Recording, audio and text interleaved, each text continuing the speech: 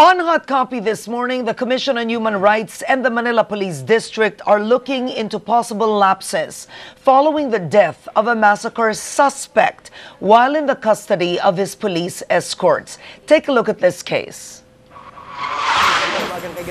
The Commission on Human Rights will conduct a probe into the death of Barangay Tanod Nestor Delizalde Jr., the suspect in the massacre of bank executive Evelyn Tan, her mother Teresita, and their helper in Santa Cruz, Manila. This comes amid fears the Manila police may have fallen short of protecting the rights of the accused. Totoo yan na nangaagaw ng baril itong mga suspects, eh nangangahulugan lang na napaka-incompetent ng ating kapulisan. Bakit naaagawan sila ng baril? Yun yung isa, no? Tapos pangalawa, napakadalas na dito lang naman sa Maynila nangyayari yan. Hindi nila um, tinitiyak na may proteksyon ang rights of the accused. Following his arrest on November 12th, Delizalde readily admitted his guilt. The arrest was his 16th over the past 20 years. Hindi ko naman po pinagsisi yung ginawa ko. Masama doon kung hindi ko ginawa. Makukulong ko ng walang katuturan.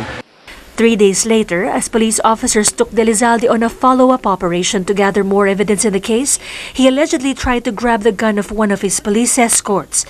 This supposedly prompted another police to shoot him in the head. Delizalde was rushed to the hospital, but he was declared dead on arrival.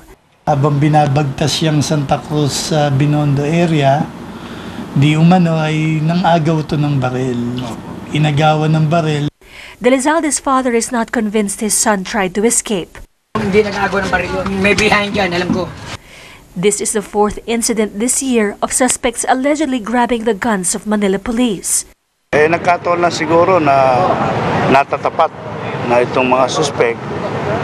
Eh, siguro dahil nga eh, mga buuan loob. At nakakita ng pagkakataon na pwede silang makatakas. The Manila Police District is now investigating possible lapses that may have been committed by Delizalde's police escorts and whether or not administrative charges are forthcoming. Yung ah, naagawan siya ng barel is ah, negligence po yun. Ah, so kinakasaon po natin ng ah, outright administrative kung talaga may negligence siya. Ah, but sa criminal aspect of ah, that uh, lapses ay bahala po or ah, yung pag-iimbestiga doon ah, criminally is kung may complaint basically doon sa kamag-anak nung ah, namatay. And then uh, out, outside, kinakasawa naman natin ng homicide and it's up to them to uh, justify their actions before the court. Tinitingnan namin, ito bang naagawan ng baril na ito ay sila rin yung naagawan ng baril ng nakaraan. So kung uh, sila rin ang uh, naagawan, silang the same policemen, uh, there's something wrong with it. We will uh, dig deep into that. Pero kung iba't ibang pulis naman at laging naagawan ng baril, itong uh, galing sa isang unit ay uh, amin pong uh, titingnan kung kinakailangan sila ay magsanay o sila ay mag-undergo ng uh, further training on uh, firearms handling. The MPD will also look into the incident and see if there is a need to train its personnel in the proper handling of firearms. All right, joining us on Hot Copy, Manila Police District Directorial Staff, Senior Superintendent Ronald Estilias is with us this morning. Good morning to you, Colonel Estilias. Thank you for coming to Head Start. All right, ganito muna. To give our ANC audience, the Head Start audience, a backgrounder of this uh, suspect, this uh, criminal. All right, we're showing his uh, photo or his video right now on screen. His name is Nestor Delizalde. He's been arrested 16 times. And the worst so far, the last arrest, is that he mercilessly, he mercilessly slit the throats of three women and didn't show any remorse for his crime. He slit the wrist of a 40 year old bank executive, Evelyn Tan, her mother, who was 60 years old, Teresa, and even their maid, Cristina Partolay, who was 22, they were all found dead in their house in Santa Cruz, Manila. Matapos na ah, gilitan, ninakawan pa niya. And then this guy was arrested, brought into uh, Manila Police District headquarters, and three days after, supposedly, I mean, three days after he was dead. Yes. And supposedly, nakipag-agaw siya ng baril sa pulis. Apo. Now, let's face it, no one believes that story. Yes. All right. Okay, go ahead, sir. Actually, uh, what happened, ma'am, during the incident is that was November 15 at 11 a.m.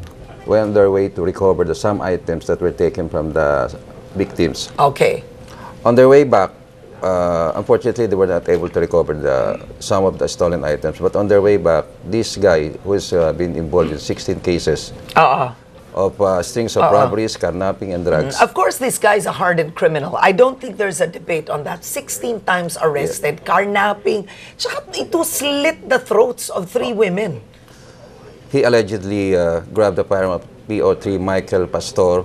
and Okay. They grappled for the possession of firearms, and uh, unfortunately, it went up, hitting uh, the perpetrator on his head. All right. And aside from that, we, we take him to the hospital, the, the Mary and Child Hospital. Oo. So dinala nyo. You Yes. can speak in Tagalog if you want, sir, please. Yes, ma'am. Uh, umabot po ng 45 minutes before he was declared dead.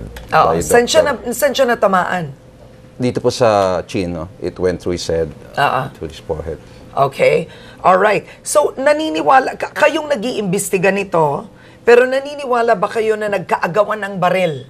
Kasi ang paniniwala ng ilan, ng marami ay, um, let's face it, sa tindi na ng kriminal na ito, binaril na lang siya ng Manila Police District para matapos na. Eh, hindi naman nagsisisi daw. Ma'am, kasi po, uh, we will not tolerate that because that is plain and simple murder. Uh, Nag-iimbestiga pa rin po kami, so we're conducting investigation. Yung mga kasama niya, tatanungin po namin yan kung ano tunay na nangyari and we have to go through ballistic uh, examination itong uh, police na si PO1, pa- PO3 Pastor.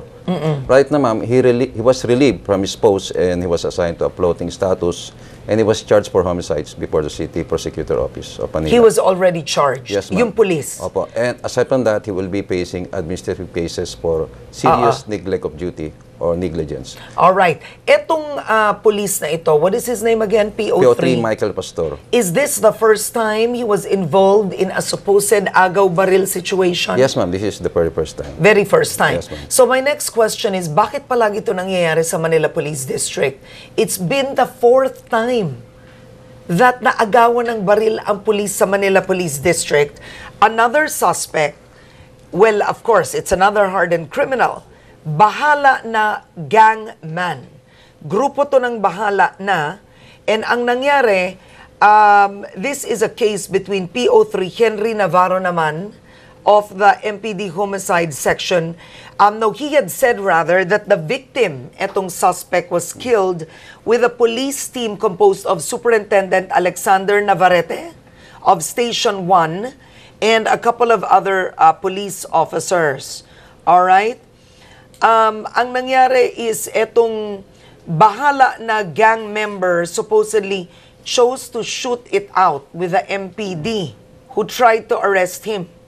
Uh, I think, ma'am, that happened inside the police station. And Okay. it was, uh, it's the same incident, no? Na, kasi ma'am, uh, these criminals are very hardened criminals. And if you would interview yung mga inmates nila, Ah, kinukwento nila na hindi sila papayag na makulong ng matagal.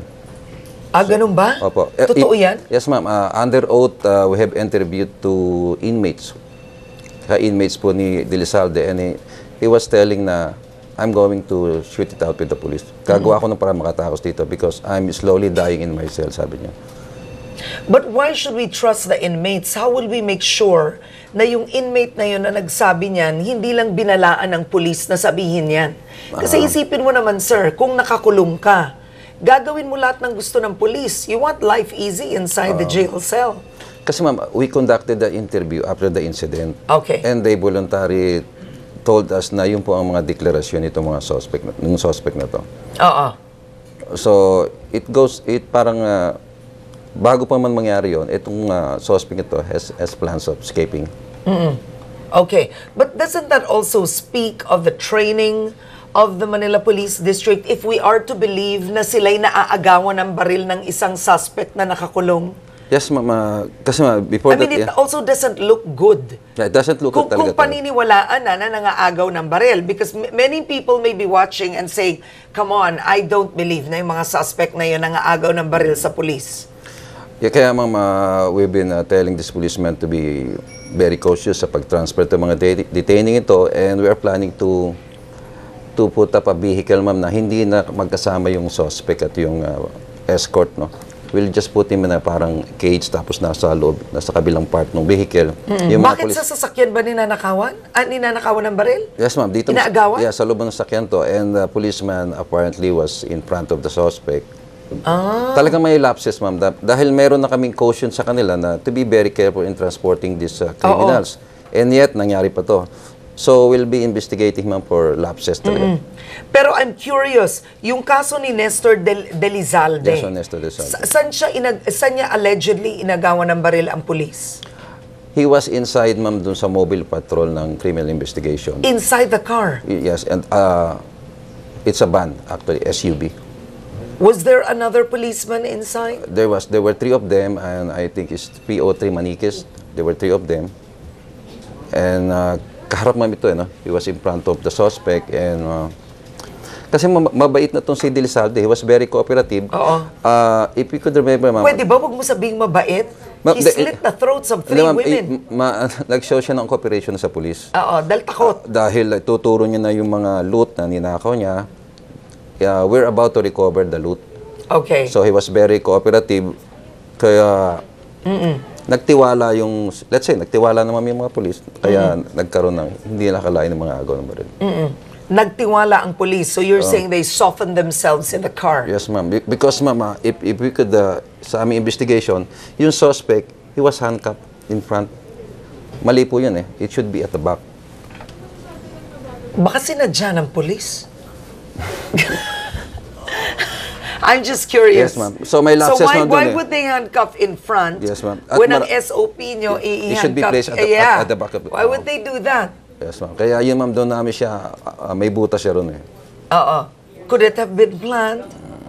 Uh, we still investigating. ma'am. You're still investigating. Apo. Now, a hardened criminal like De Delizalde, because clearly I think the community is also giving you a little support. Apo. I mean, of course, you have the father of De Delizalde who is very upset and does not believe that that's the story. But you do have, I think, the greater public that's already become cynical, frustrated with crime. And when it's a person like this who's been arrested 16 times, slit the throat of three women, shows no remorse, people are saying, some people are saying, who cares? He deserves it. What's your take on that? Um, kasi ma'am, no, I've been assigned Metro Manila for 12 years. And I think a lot of uh, proportion ma'am, mga Pilipino na nag, uh, naninirahan sa Metro Manila has been a victim of crime. Oo. And, uh, Frustrated na. Yeah. And if you would ask them, karamihan sasabihin nila, yung mga hardened criminals hindi na dapat. Oo. That's their the Hindi na opinions. dapat ano. Hindi na dapat buhay. Yung mga opinion Oo. nila. Sasabihin Oo. sa mga Ng mga pangkaraniwang tao. Dati ma'am, sabihin nila sa pulis, ah, pag nakaka-aresto kami, eto sabihin nila, eh sir, ba't di niyo pa pinatayan, di pa sinalvage? Sino sinasabi nila eh? So, uh, we was, ang sabihin namin, eh pag naman yan ay nangyari, kami makakasuhan ng human rights. So, kawawa naman ng pulis. At ito mang pulis na to, si PO3 Michael Pastor, hindi yan sa right mind para patayin to kasi pag napatunayan po ng husgado na pinatay niya to, he would, Na go, intentionally. he would go to jail for the rest of his life. Oo. Life So- sentence po ito. Uh, he wouldn't do that. Opo, murder case po ito. Kung napatunayan na pinatay niya to. Now, ito purpose. tanong ko, sir. Uh, I want us to show uh, Delizalde's uh, picture once again, Direk, is um, sa dami ng krimen ni Delizalde, bakit siya pa nakakala- nakakalabas? I mean, 16 times arrested this guy. It, it, it came to a point he had to slit the throats of three women. I just want to understand anong nasa proseso natin and lagi siya nakakalabas. Doon sa aming uh, record check, no, he was uh, incarcerated and he did this time. Ilang years? Four years yata yung pinakahuli. Was he convicted? Not yet. Yes, ma'am. He was convicted. So, for- saan siya nakulong? Muntinlupa? Dito naman sa city jail. City jail? Opo. No, but when you're convicted, you don't go to city jail. You go to Muntinlupa. So, what, baka that case was in waiting? Yes, ma'am. Yung manghuli niya ay four years siya nakulong eh. In waiting yan. Opo. And then, found innocent? Yung iba mo siguro nakapag-bail. ah, kasi ma'am, itong mga kriminal na to, once yan po nakapag-bail, na, may time silang takutin yung mga testigo eh. Okay. So yung mga testigo nagbaback out, tinatabad ng umaten. So, Oo. in Ayaw time, na. ma'am, nadi-dismiss yung kaso. Oo. Ah, I understand. On the line right now is Commission on Human Rights Chairperson Eta Rosales. Good morning, ma'am. Yeah, good morning, Karen. What can I do for you? Okay, let's keep it simple. Do you believe the story of the Manila Police District na naagawan sila ng baril on the case of Delizalde? This is the fourth time on the record that Manila Police District ay allegedly naagawan ng baril ng isang suspect under their custody at ang suspect ay napatay. Oh, well, uh, I cannot say whether I believe or not. No, the thing to do here is to investigate whether or not the police is telling the truth. So, ang pag-iimbestiga niyan, dapat makuha yung yung kwan, forensic evidence ano dun sa balis dun sa baril at saka dun sa mga people mismo who are actually there. It is very difficult to believe it. I think 80% of the people do not believe na Yeah. nag-agaw baril, di ba? Kasi pang-apat na beses na yan eh, apat na yung mga inagawan ng ah, ng agaw ng baril Yeah. and they ended up fatally fatal o na, napatay. And yes, mga nakaposas ito ha, nakaposas. Kaya mahirap paniwalaan. Okay, Yun, yun. Chairperson, I agree with you, mahirap paniwalaan. But how do you take it that it seems the public and the local community, sorry to say this for a lack of a better phrase, that they don't really care. That to a point, they do accept and even support the death of um, of uh, Nestor de Lizalde. And I don't mean to sound brutal right now, but considering he's been arrested 16 times, he's never changed, slit the throat of three helpless women in their house, and stole from them after he slit them and showed no remorse after. How do you connect this wherein, yes, he has rights, but then the public has become frustrated with criminals like this, and the public is saying, we have rights too. Paano yun, ma'am? Yes. Tama yun. Ah, ang process, while he is uh, in prison, dapat merong rehabilitation, dapat merong restorative justice. The fact that recidivist, ang sabi sa kanya, he keeps on going in and out, in and out, in and out, ano ang consciousness at awareness at policy ng mga authorities within the criminal justice system to make sure that this guy just, just keep on going in and out kung hindi naman pala nagbabago. Di ba? So that's one question that you have to answer there. Uh, you know, there is such a thing as penalties for a longer period of time in prison, lalo na kung hindi ka nagbabago. Pero kung uh, pasok-labas, pasok-labas, walang pagbabago, uh, problema rito, yung estado. Kasi Uh, hello, ma'am? All right. Uh, Chairperson, all right, we'll try to get in touch with her again. I think the line was cut. Can you react to what she said?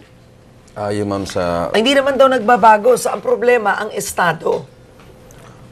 ah, siguro may mag-decide. Kasi nakakulong na yan ng apat na taon, di ba? Opo, eh. Iisipin mo na, paglabas niya ng city jail, which is quite interesting, you told Opo. me, apat na taon ang nakulong si uh, Delizado. Ideally, dapat natakot ka na nun, di ba? Naturuan ka na ng leksyon. But apparently, hindi. siguro may mga tao ma'am na recidivist o Oo. at, at wala silang, ah, they have no remorse sa mga ginagawa nila. And, and this guy, pinagmamalaki pa nito yung ginawa niya. eh. He was being interviewed by the media people. Kinuwento pa niya na, kung anong ginawa niya and he was very proud of it. He was? Oo.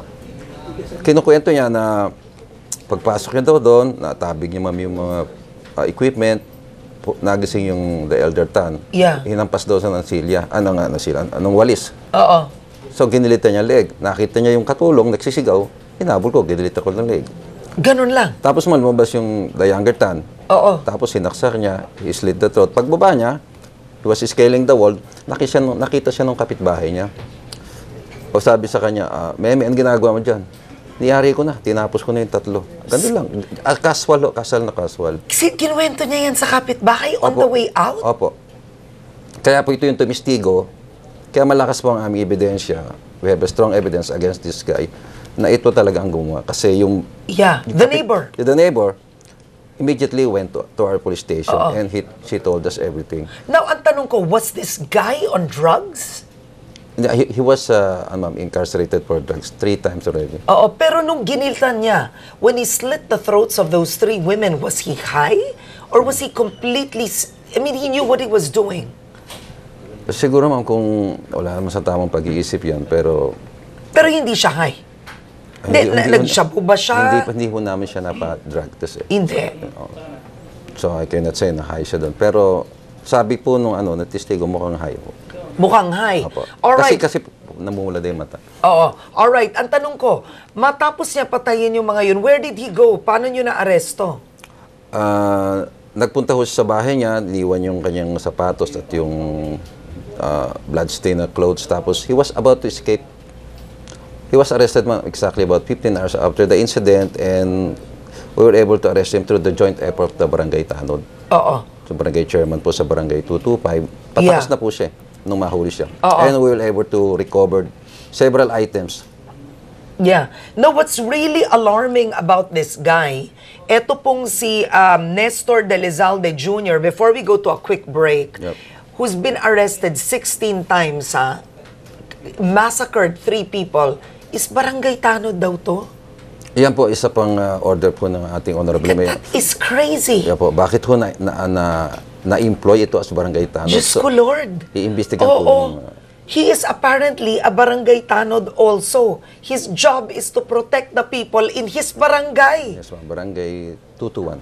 But why was he appointed as a barangay tanod when he's in- been involved in so many crimes?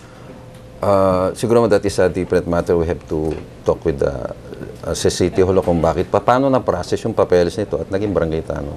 Okay. All right. We'll take a quick break. When we return, we'll continue our conversation with Manila Police Chief of uh, the District Directorial Staff. That's a long one. Senior Superintendent Ronald Estilias, your questions right after. Uh, Chairperson Eta Rosales, if you're still watching ANC right now, our line was cut earlier. We'll try and uh, get you back on the line. Hot copy. We'll be right back.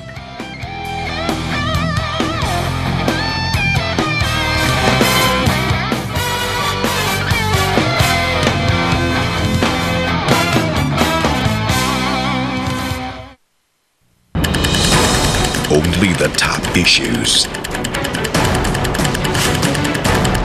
The top information. The top moments. The top details. And the top people.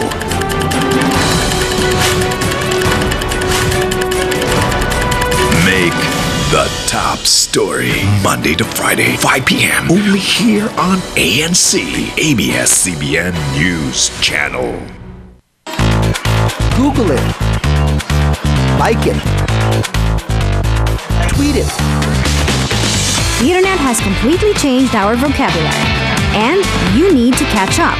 Don't wait for the revolution. It's already here. I'm PJ Manoto. And I'm Lexi Schultz. Be a part of the social media revolution. On ANC Alerts.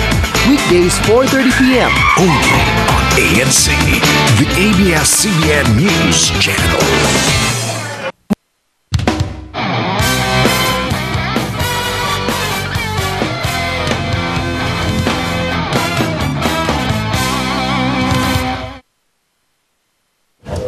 Welcome back to Hot Copy. This is a very interesting topic. We have with us Senior Superintendent Ronald Estilias right now, but on the line, do we have with him?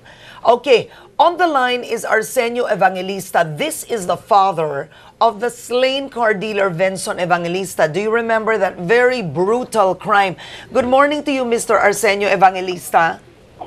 Ah, good morning, Karen ah, and ah, Colonel ah, Ronald Istilies. Magandang umaga po sa inyong lahat. All right, what's your take? You've been very vocal on this.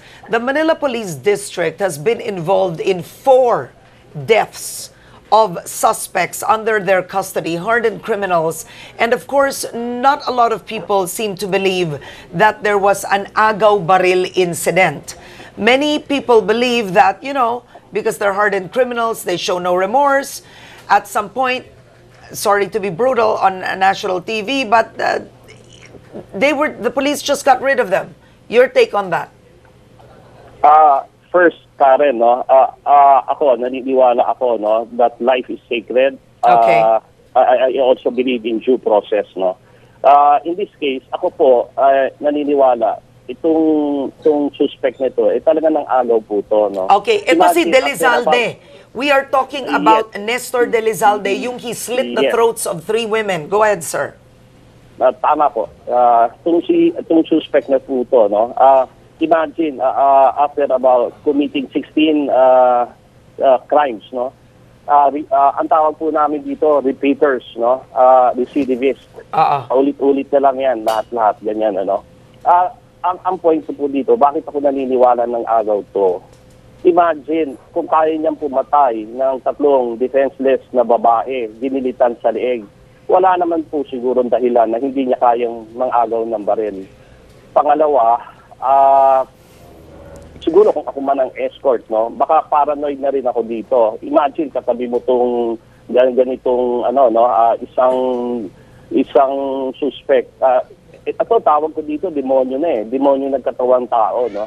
Siyempre may konting paranoia ka na rin. Ah, siguro konting movement niya, baka mag-isip ka, talagang aagawan ka, no. Ah, yung may second ano pa rin ako, I would suggest may lapses na nangyari dito, no? Katulad nung barangay captain na nag-hire dito sa taong to. Simple lang po yan eh, yung hiring na yan, ano? Kung, ano, sana hiningan niya ng apat na clearances, no? Una, yung NBI clearance, police clearance. Oo. Ah, eh, alam court- naman, court pero alam naman yan, sir, sa barangay na kriminal yun, ang liit-liit ng barangay. Alam nila yun, na kriminal yun. Kaya nga Karen, eh, pati yung pang-apat na clearance, yun nga, yun yung huli, no? yung barangay clearance itself, kung presidente ho ba siya doon. So tingin ko, sana gawing common practice to amongst la- lahat ng mga barangay captain, yung four clearances. Ah, para at least ma, ma- ano nila, no? Kung, kung yun ginawa nila ng barangay captain na yon, uh, from there on, makikita niya na merong mga series of cases po to. Kaya saka po, na-observe namin sa Manila, ibang klase po mga criminal sa, in particular, uh, dyan sa district ng Manila. Ah, grabe, very heinous, brutal, ah, ah, ayun, gano'n, Karen. Oo. All right. Now, very quickly, unfortunately, we don't have enough time, sir, but I thank you for taking our call.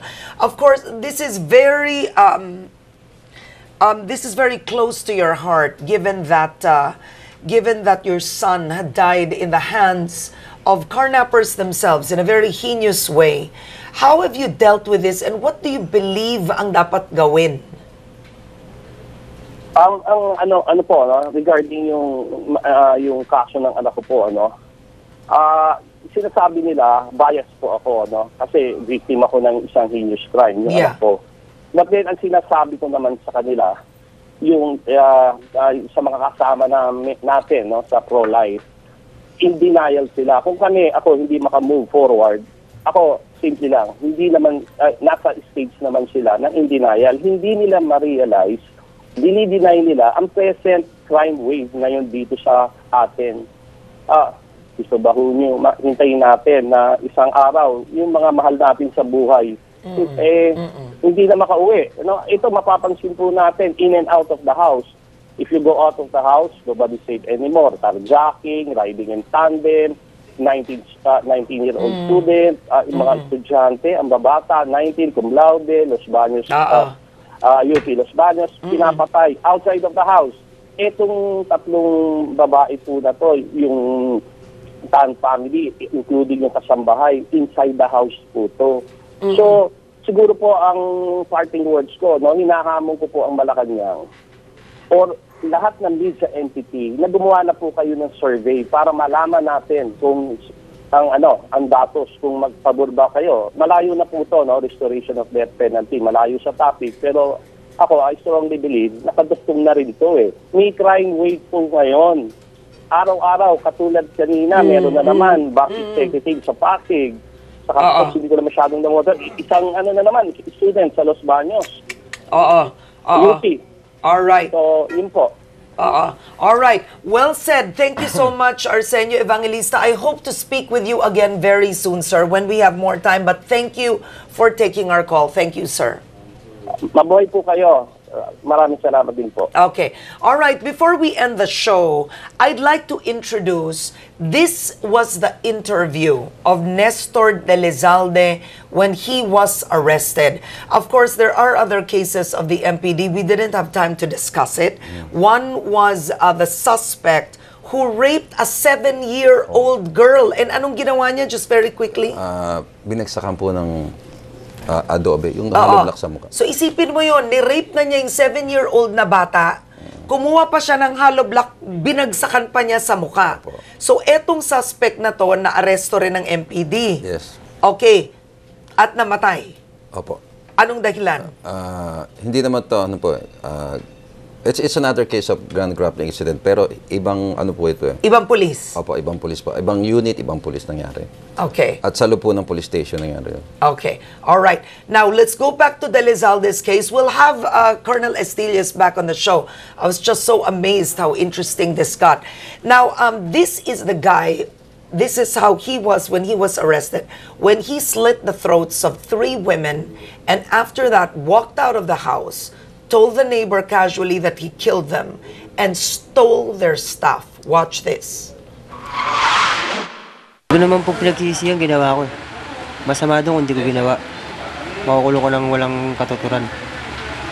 Mas nakakaya.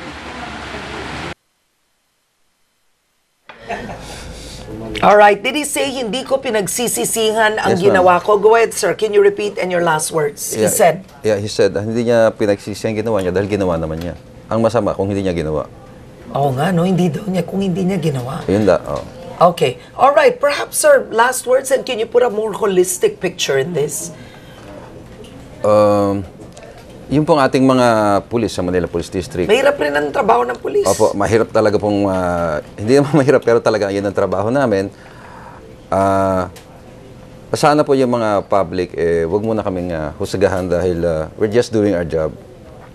Ito mga criminal po ito ay ah, these are hardened criminals and kung ito eh, pababayaan pa po natin na makapaglabas-masok na lang. So, mas malaki po ang pinsalang gagawin nito sa society. But we're not saying na intently pinatay po namin ito.